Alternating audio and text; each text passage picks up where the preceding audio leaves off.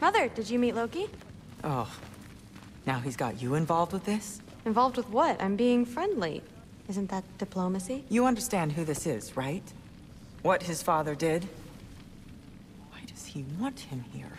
Mom! Come on, you're embarrassing me. We'll talk about this later.